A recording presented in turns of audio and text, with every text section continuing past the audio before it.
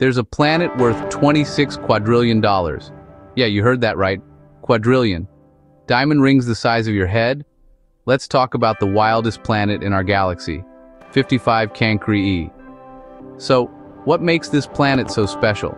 It's not just another rock floating in space.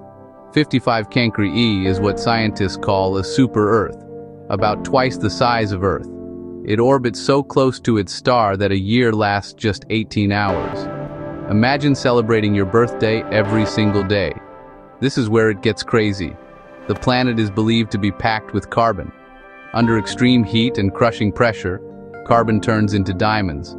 If the theories are right, a crust of sparkling diamond could stretch thousands of miles. Forget diamond mines, this is a diamond world. Now, three mind-blowing facts. First, insanely hot. Surface temps over 4,000 degrees. Hotter than lava, hot enough to melt most metals. Pack some serious sunscreen if you want to mine it. Second, super close to its star. The star's gravity stretches the planet into an egg shape. It's tidally locked, one side always day, the other always night. Third, bring it to Earth and the diamonds would outvalue all our money. 26 quadrillion dollars, enough to make everyone a billionaire.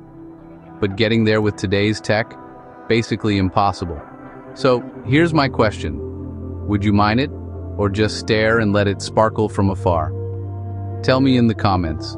Sometimes the universe is more dazzling than we can imagine. Thanks for watching.